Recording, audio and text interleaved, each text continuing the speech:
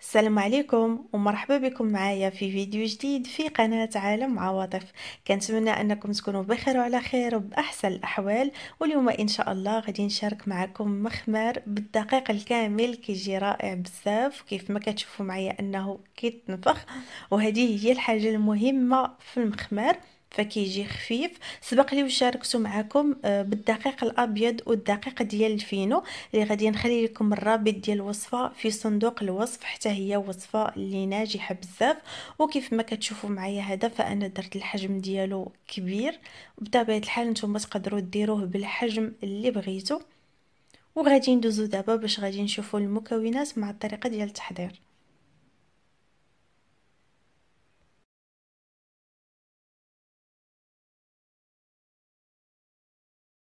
فغادي نعبر معكم بالدقيق بالزلافه اللي كنشربوا فيها الحريرة. فغادي ندير زلافة ديال دقيق القمح الصلب وهو اللي كنسميوه في المغرب الفينو أو السميد اللي ناعم جدا. وجوج زلايف ديال الدقيق الأبيض وزلافة ونصف ديال دقيق القمح الكامل اللي هو دقيق القمح بالنخالة ديالو.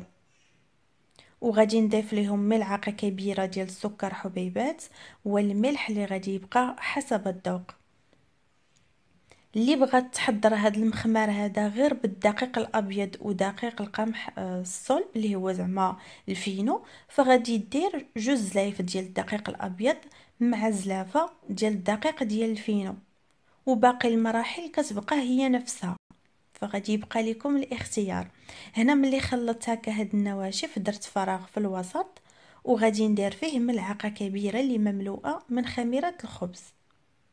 وغادي نضيف الماء دافئ باش غادي نعجنو العجين. بالنسبة للماء يكون دافئ فقط ما يكون سخون بزاف هكا باش ما يبطلش لينا المفعول ديال الخميرة وتفسد لينا العجين. غادي نبقى كنضيف في الماء تدريجيا وكنعجن العجين ديالي. هنا اللي بغات تعجن بإيدها تعجن واللي عندها العجانة وبغات تستعملها فغادي يبقى لكم الاختيار.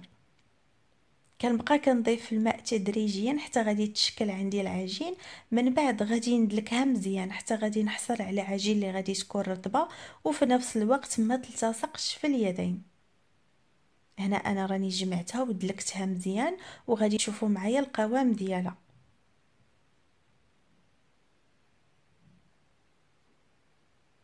خاصها تجينا بحال هكا تكون رطبة وما تلتصقش في اليدين. فهنا العجين عندي واجدة. فغادي نحطها جانبا وغادي نغطيها ونخليها ترتاح لمدة ديال خمسة دقائق فقط. حنا ما حاجتناش بها أنها تخمر ما غاديش نخليها تخمر غير ترتاح لمدة ديال خمسة دقائق ونكمل التحضير.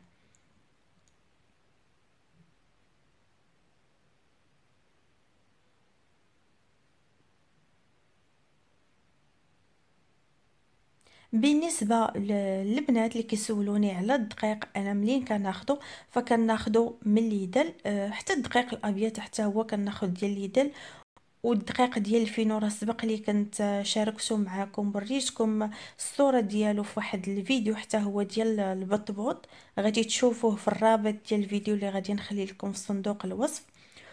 وهذا حتى هو كناخدو الصراحه راهم زوين بزاف وحتى الثمن مناسب. فتشوفوا معايا الشكل ديالو عن قرب. هو هذا وكاين واحد آخر حتى هو كناخدو. غير الفرق أن هذا هكا دقيق اللي رطب ماشي بحال الآخر اللي فيه هكاك اللي مازال بالنخالة ديالو.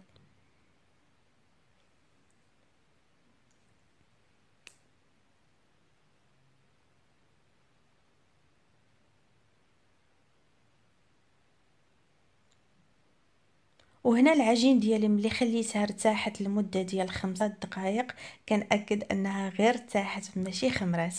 هنا غادي نقسمها لكرات اللي غادي يبقى الحجم ديالهم على حسب الرغبة ديالكم.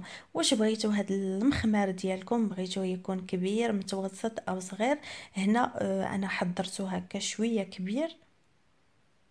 وبطبيعة الحال إلا بغيتو ديروهم ديروهم صغار أو متوسطين على حسب الرغبة ديالكم. وغادي نبدا نشكل الكرة بهذا الشكل هذا.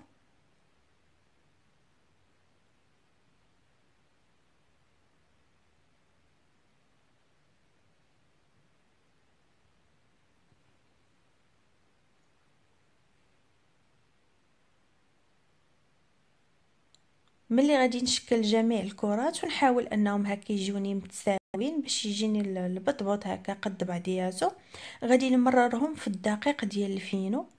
بحال هكا نمررهم كلهم في الدقيق ديال الفينو. ومباشرة غير غادي نقادهم غادي نبدأ نبسطهم. ما غاديش نخليهم يرتاحوا أو يخمروا. فغير نشكلوا الكرات كلهم غادي نبداو نبسطوهم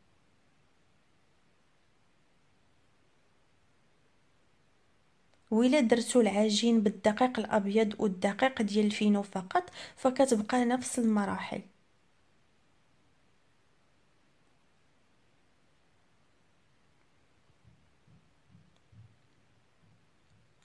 وهنا ملي ساليت الكرات شكلتهم هكا ومررتهم في الدقيق ديال ال fino غادي نبدأ نبسطهم. كنرش سطح العمل بالقليل ديال ال fino هكا باش ما تلصقش لي العجين فوق سطح العمل ونبدأ كنبسطهم. كنعاون هكا بالمدلك باش بسرعة كنبسطهم ونقادهم. نحاول أن هكا نبسطهم رقاق ما نخليهمش غلاض إلا خلينا العجين هكا غليظة فما غاديش يتنفخوا لينا ملي غادي يكونوا يطيبوا.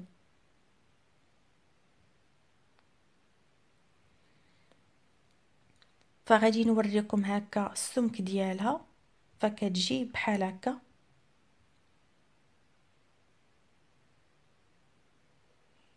وبنفس الطريقة غادي نكمل الكمية اللي عندي كلها. غادي نبسطهم. وملي كنبسطهم كنديرهم فوق شي منديل باش غادي نخليهم يخمروا. فهاد المرة هذه كنخليهم يخمروا. وغادي تشوفوا معايا ملي غادي يخمروا ما نخليوهمش تاني حتى يخمروا بزاف. فغادي تشوفوا معايا الشكل ديالهم ملي غادي يخمروا.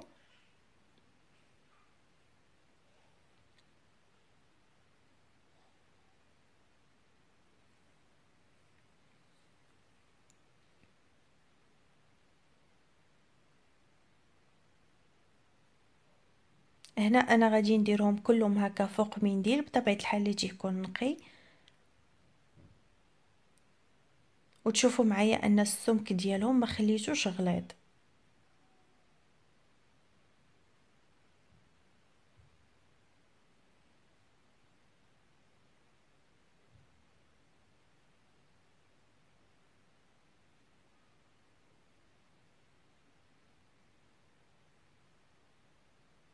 وهنا ملي خمروا فهذا هو الشكل ديالهم. كنقيسهم هكا آه، بالإصبع ديالي وكترجع تطلع العجين ملي كتخمر العجين فغير كنضغطوا على الجوانب ديالها إلا ضغطنا على العجين وحيدنا هكا آه، الإصبع ديالنا ورجعت طلعات صافي ديك الساعة كنبداو كنطيبوهم. ما نخليوهمش يطيبوا أكثر من القياس. وبالنسبة للطريقة ديال الطياب ديالهم فالمقلة خاصها تكون سخونة وبالنسبة للنار كتكون فوق متوسطة. إلا درتوها مهيلة بزاف راه ما غاديش يتنفخ ليكم. فالمقلة كتكون سخونة كنحط هكا العجين غير كنحس بها هكا شدات راسها من التحت كنقلبها وكنبقى هكا كنبقى نقلبها على الجواي هكا بجوج حتى كيبدا كيتنفخ. بهذا الشكل هذا. وديك الساعة راه كنبقاو هكا نقلبوا فيها باش كتحمر وملي كتحمر من الفوق ومن التحت كنوقفها على الجناب وكنبقى ندورها هكا باش طيب ليا حتى من الجوانب ويجيو محمرين. وبنفس الطريقة تنكمل حتى كنسالي الكمية اللي عندي كلها. بالنسبة للمقلة تقدروا طيبوا في أي مقلة عندكم إما هكا تكون ثقيله أو لا شوية خفيفة.